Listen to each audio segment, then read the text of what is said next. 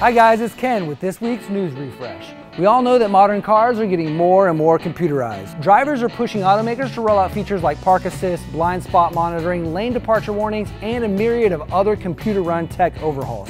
And all of this is to help drivers pay as little attention as possible while they're behind the wheel. Well, guess what? There's a problem with getting a computer to do all the work for you, and it's one we all saw coming. That's right, now even cars are getting hacked.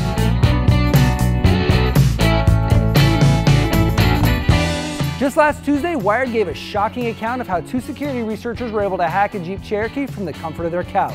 That's right, two guys on their laptops were able to hack into Chrysler's Uconnect system and control the vehicle's radio, windshield wipers, AC, brakes, transmission, and even the steering.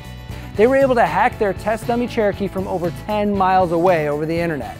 Now, is this as easy as the two security researchers from Wired made it look? Well, no. You still need some pretty specific information about the vehicle like the IP address, which the hackers had beforehand.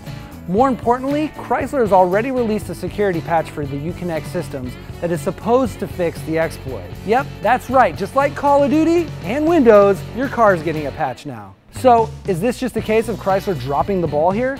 Well, the Jeep Cherokee is the only vehicle that Wired tested, but Uconnect is just one of dozens of untested systems. There's no telling if GM OnStar, Lexus Enform, Toyota Safety Connect, Hyundai BlueLink, or Infiniti's Connection suffer the same vulnerabilities. The NHTSA responded to the report by saying that although they don't want to hinder new technologies, cybersecurity and privacy must be a high priority item for the industry and for the NHTSA.